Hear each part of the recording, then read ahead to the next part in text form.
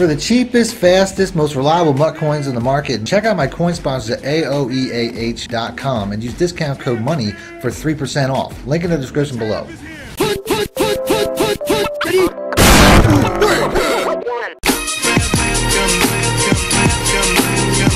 Welcome back, Money Team. This is Madden Money Shot. Snip out the man cheese as always. Got one of the glitchiest post patch plays in the game for you guys today, and it's also one of the glitchiest plays in the game prior to the patch. Uh, it was something that was actually mentioned in the patch. I'm going to show you guys a play and an adjustment that you can make where you can assess a home run just about every single defense in the game. If you guys want to see more videos like this, as always, hit the like button and let me know in the comment section. Other than that, let's go get right into the play. Now, the play itself should look very familiar because it was mentioned in the patch very specifically the gun bunch verticals. You can use this concept out of the pistol bunch, out of the single back bunch. It doesn't matter. I'm going to go with the gun bunch though. I'm in the Raiders playbook, even though I'm using the Ravens. I'm sure the Ravens, I'm pretty sure the Ravens have the verticals. Like I said, every single playbook in the game has the verticals. So let's go and let's pick that. On the defensive side, start off with cover three, although like I said, this play, works against a lot of different defenses. As always, this video is brought to you by my coin sponsors at AOEAH.com. Guys want to get your MUT team up and support this channel at the same time, all you have to do is check them out. Link in the description below and use discount code MONEY to get 3% off what's always guaranteed to be the cheapest coins on the market. Now, pre-patch, all you had to do was put this B route on a fade. It was a very glitchy play. This is a play that I had originally in my ebook.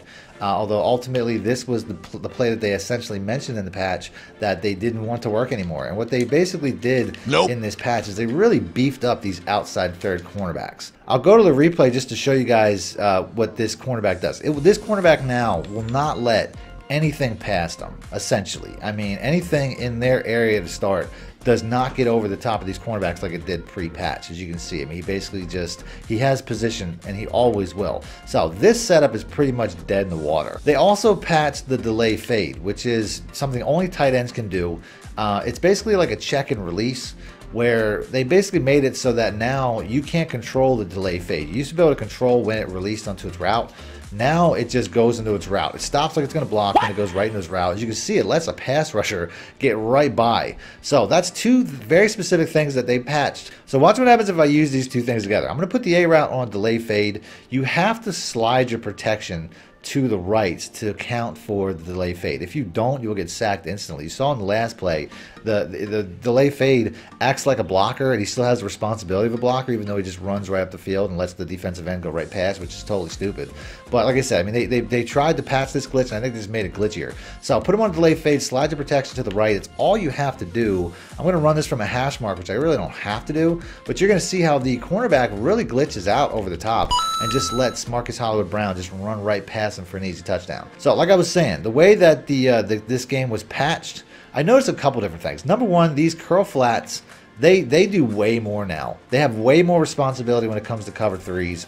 And I can notice that whether it's cover three match or cover three regular, it's almost like they're all the zones are communicating together at the level of almost like a cover four quarters, where they're passing responsibility off to one another based off of what's going on on the field. So this particular play here, once this guy gets to a certain point, this safety, it becomes his responsibility. You can see he flips his hips. He lets him pass, then he flips his hips and he chases him. So you can tell that this cornerback, when he bails for the delay fade, and like I said, that's an extreme overreaction based off of the patch. Because once again, this cornerback is like they programmed it. Don't let anything streak past you. And that's why after a certain point, he just bails in his responsibility and comes in straight for the delay fade because it's like he's expecting that delay fade to get past him over the top like he was pre-patch. But he just completely bails and changes responsibility of this guy, of this receiver, this wheel route to the safety who's about 10 yards behind. And you can see why that's such an easy play. You know, most cover three plays are best either run from a hash mark, whether it's a short side one play touchdown or, or an open hash mark like here. Uh, but you can run this play from anywhere. It doesn't have to be from the hash mark. That's one of the things I really like about this. You're not restricted to where you are on the field. Like I could run it from like the even side here, although I put I still did the old setup there. But I could run it from the even side and I'll still have this success. So like I said, most important thing is sliding that protection at this point. And then you can see here once again. I mean, he just bailed for that uh, for that route, and it's just one of the easiest one play touchdowns against cover three in the game right now. Like I said, it works the same. Whether you're in a gun bunch, single back bunch, any verticals play will have this success. So let's go ahead and let's find the verticals that we have right here, the single back bunch. We'll go and we'll do that again. Like I said, exact same setup. I think the gun bunch is a little bit better based off of the fact that, um, you know, you have the, um, the, the, the quarterbacks drop back where the single back bunch are right under center, so the pressure's a little bit harder to get to. But any verticals play, this will have success. But the delay fade is super glitchy now. It, it doesn't just have that effect on uh, cover three cornerbacks. It has that effect on cover two safeties and stuff like that too. So let's go let's pick that play again. We'll start off with Tampa 2 and we'll do some man coverages as well. Uh, but all you gotta do, exact same effect. Gotta do that slide protection though, because like I said, they really messed up the blocking scheme when it comes to this. And you're gonna see how this guy gets outside of the. I mean, this is something you can kind of do prior to the patch anyway. So we're gonna do that one more time. Try to get ourselves a touchdown here. The only real downside is even when you slide this protection sometimes, the, the, it still kind of messes up the blocking scheme. He still gets outside containment, and then you can see, like I said, you can get a very big play against cover two. Although I safe caught that rather than you know catching and running that, but you can see it works against cover two or cover three. Also has a lot of success against man coverage. So we'll pick that play one more time.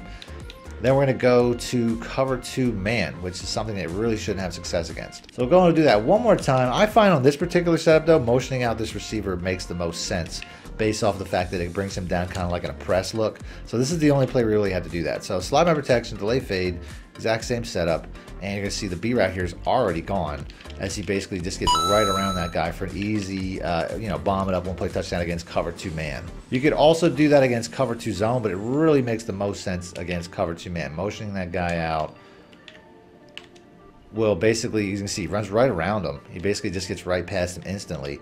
And then I don't have to do too much of a, uh, a pass lead either, like I do in some of the other plays. So that's something that's really helpful. So pretty much any man coverage will have that exact same effect. I'm not going to spend too much time doing that. We'll go with the cover one hole. This is something that, um, you know, I don't even really have to make any adjustments. You just need a speed advantage here, and you can see how Hollywood Brown is going to get right over the top of that. So cover zero, cover one, cover two man, it doesn't matter. It's going to work the same. So I'm going to end the video there. If you guys want to see more plays like this, more glitchy one play touchdowns against cover three post patch, hit the like button, let me know in the comment section. Other than that, thanks for watching, man. Much it out. Need more help or just want to show your support? Then head over to my Patreon and join my team, where you can get exclusive content like ebooks and bonus plays, as well as early access to my vids and more. Link in the description below. Thank you.